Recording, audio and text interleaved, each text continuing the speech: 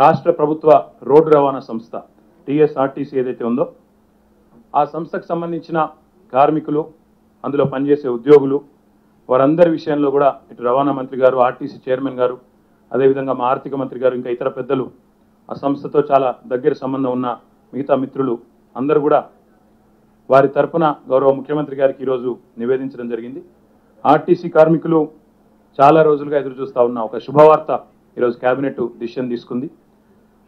ఆర్టీసీని కాపాడేందుకు ప్రజా రవాణా వ్యవస్థను మరింత పటిష్టం చేయడానికి సామాజిక బాధ్యతగా ప్రజా రవాణాను పటిష్టం చేసి మరి బ్రహ్మాండంగా ఇంకా విస్తృతపరచడానికి టీఎస్ఆర్టీసీని ఆ శాఖలో పనిచేస్తున్న ఉద్యోగులందరినీ ప్రభుత్వ ఉద్యోగులుగా గుర్తిస్తూ దానికి సంబంధించిన విధి విధానాలు నిబంధనలన్నింటినీ కూడా రూపొందించడానికి అధికారులతో కూడిన ఒక సబ్ కమిటీని ఏర్పాటు చేయడం జరిగింది.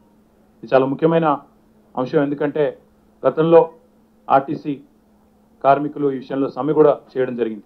ప్రభుత్వ ఉద్యోగులుగా మమ్మల్ని గుర్తించాలని డిమాండ్ చేస్తూ మరి వారి కోరికను మన్నిస్తూ అదేవిధంగా సామాజిక బాధ్యతగా సోషల్ ఆబ్లిగేషన్గా పబ్లిక్ ట్రాన్స్పోర్ట్ని గుర్తిస్తూ మరింత పటిష్టం చేయడానికి ఒక అధికారులతో కూడిన సబ్ కమిటీని ఏర్పాటు చేయడం జరిగింది. మొత్తంగా నలభై మూడు వేల ఆర్టీసీ ఉద్యోగులను ప్రభుత్వ ఉద్యోగులుగా నలభై మూడు వేల మూడు వందల డెబ్బై మూడు మంది ప్రభుత్వ ఉద్యోగులుగా గుర్తిస్తూ ఒక చాలా కీలకమైన నిర్ణయాన్ని ఈరోజు రాష్ట్ర కేబినెట్ తీసుకోవడం జరిగింది.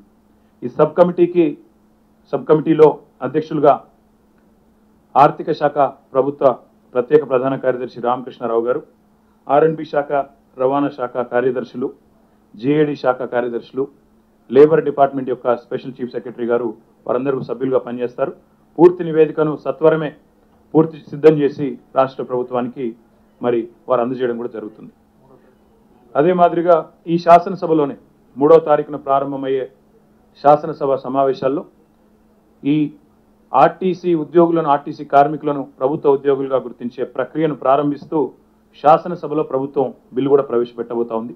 వెంటనే దానికి సంబంధించిన కార్యాచరణ కూడా ప్రారంభించాలని రవాణా శాఖ మంత్రి గారికి శాసనసభ వ్యవహారాల శాఖ మంత్రి గారికి గౌరవ ముఖ్యమంత్రి గారు ఆదేశాలు కూడా ఇవ్వడం జరిగింది.